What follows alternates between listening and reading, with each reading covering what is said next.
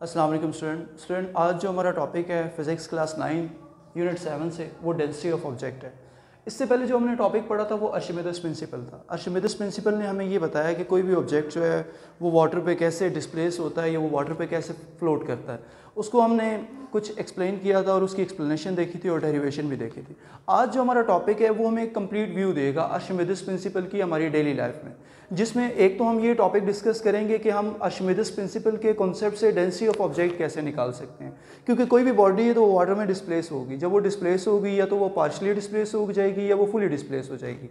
जो partially displacement है, वो तो फ्लोट कर जाती है। और जो फुली है, वो सिंक कर जाती है, वो भी हम कॉन्सेप्ट देख लेंगे। लेकिन सबसे पहले हम देख लेते हैं कि डेंसिटीज़ को कैसे रिप्रेजेंट करते हैं। या अर्शमिदस ने जो डेंसिटी का कॉन्सेप्ट दिया, वो रेशो की फॉर्म में कैसे है?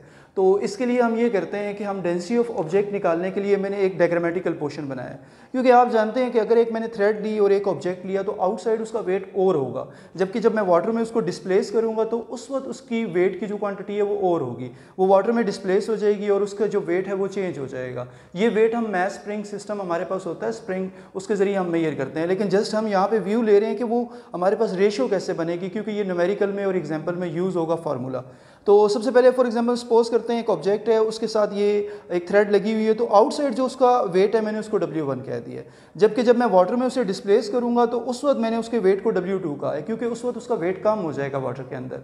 जबकि उस वक्त वाटर का वेट क्या होगा? डब्ल्यू जो कि किसके इक्वल होगा? W one minus W two के। W one minus W two क्यों? क्योंकि वाटर इन दोनों का डिफरेंस है। वहाँ पर इन दोनों के डिफरेंस कंपेरिजन को रिप्रेजेंट कर रहा है कि वो बॉडी सर्फिस पे फ्लोट करेगी या सिंक कर जाएगी। तो ओवरऑल जब हम इसका कंपेरिजन करते हैं तो अर्शमिदस के प्रिंसिपल के मुताबिक जो इसकी रेशियो होती है, वो ये होती है कि ये डी जो होता है, ये डेंसिटी ऑफ़ ऑब्जेक्ट होता है स्मॉल पी जो है डेंसिटी ऑफ़ वाटर होता है, इसके बारे में मैं पहले भी बता चुका हूँ आपको। तो ये जो है डेंसिटी ऑफ़ ऑब्जेक्ट इक्वल होती है डब्ल्यू वन जो कि वेट ऑफ़ ऑब्जेक्ट था आउटसाइड वाटर के अलावा डिवाइडेड बाय डब्ल्यू डब्ल्यू क्या था? वेट ऑफ़ वाटर जो कि W one minus W two के इक्वल था multiply by density of water तो अब हम डब्ल्यू की जगह उसकी वैल्यू पुट कर देंगे W one minus W two तो ये जो फार्मूला हमारे पास आया है, ये हम न्यूमेरिकल्स में भी यूज़ करेंगे. ये फार्मूला हमें बता रहा है concept of Archimedes principle about density of object और ये आपकी क्या चीज़ बता रहा है? Ratio between density of object and water तो इस चीज़ को हम अपने नेक्स्ट टॉपिक में रिप्रेजेंट करते हैं, जो कि ये फार्मूला आया है, उम्मीद है आपको समझ आ गया होगा।